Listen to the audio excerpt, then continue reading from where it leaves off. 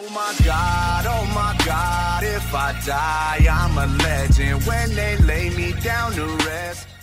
Hello, c'est Lazy. Aujourd'hui, on se retrouve pour la vidéo découverte et présentation des jeux du mois, édition mai 2018.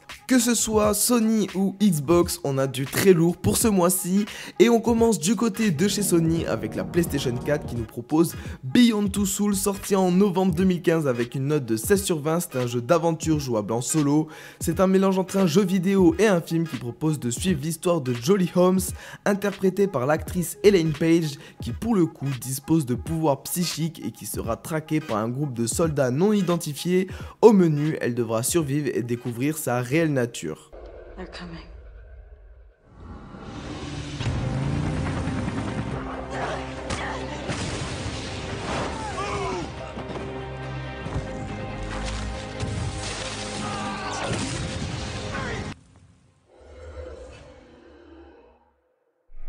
Du côté de chez Microsoft sur Xbox One, il nous propose le jeu Super Mega Baseball 2, sorti en mai 2018. Il est non noté, jouable en solo et en multi. L'univers, vous l'aurez compris, c'est du baseball. Vous pouvez ainsi créer votre propre équipe, la personnaliser et vous lancer dans la compétition.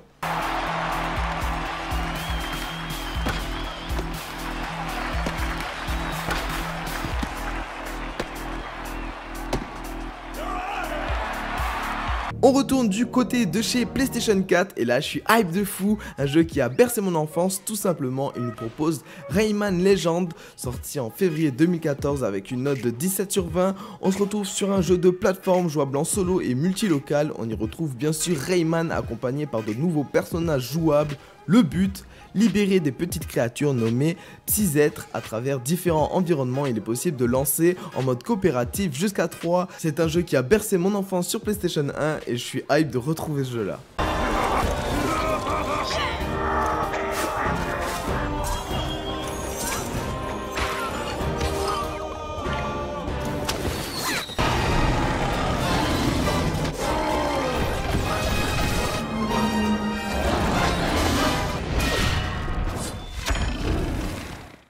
Nous repassons du côté de chez Xbox One avec Metal Gear Solid 5 The Phantom Pain. Donc là, Microsoft nous sort aussi l'artillerie lourde, sorti en septembre 2015 avec une note de 18 sur 20. C'est un jeu de type action-infiltration jouable en solo. Nous incarnerons Big Boss qui séjournera en Afghanistan et en Afrique pour mener à bien la nouvelle mission qui lui est confiée. Pour l'aider, il pourra compter sur son ami de toujours, Revolver Oslo.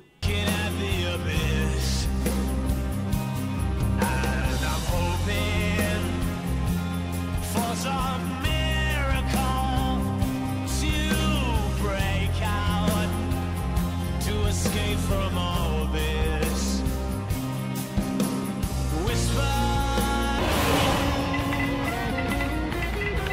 Les deux derniers jeux présentés dans cette vidéo seront des jeux Xbox 360 en cross-platform avec la Xbox One. Du côté de chez Sony, pour ce mois-ci, on se contentera de Rayman Legend et Beyond Two Souls. Les deux derniers jeux proposés par Xbox sont Street of Rage, un vieux jeu en 2D sorti en 1991, j'étais même pas né, avec une note de 17 sur 20. Franchement, je vous le présente pas plus, je pense que cela vous intéresse pas plus que ça. Ensuite, on a le droit à Vanquish. Vanquish est sorti en 2010 avec une note de 17 sur 20. C'est un jeu du type action jouable en solo, c'est un jeu de tir à la troisième personne qui vous plonge dans un univers futuriste. La Russie a déclenché un nouveau conflit majeur et les forces américaines doivent reprendre une colonie spatiale qui est tombée sous le contrôle d'une horde de robots. Que ce soit sur la PS4 ou que ce soit sur la Xbox One, on a un très bon mois donc je vous souhaite bonne game à tous. Je vous laisse ici, j'espère que la vidéo vous aura plu. N'oubliez pas le petit pouce bleu de vous abonner, c'est pas encore fait. Et moi je vous dis à plus les potes.